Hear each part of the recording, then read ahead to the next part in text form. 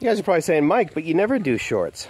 Well, I thought short was absolutely the most appropriate thing because this is uh, this is what 27,000 pesos buys, and I'm trying to determine how many people that feeds. Remind me how many stomachs a cow has. They have three, right?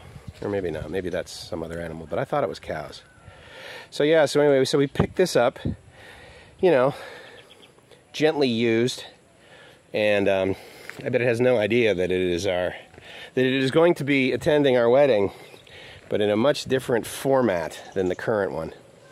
So I was actually going to uh, I was actually going to put the car here, but they've decided that that's where this will graze. I asked them if we should name it, or if you don't do that prior to slaughter, but her sister quickly responded with Argentina. So we're going to go with that. So anyway, it's Mike from LiveMyAssOff.com saying, I hope you live in the dream. If you're not living the dream, then you've wasted $27,000 on not enough steak. Talk to you soon. Ciao.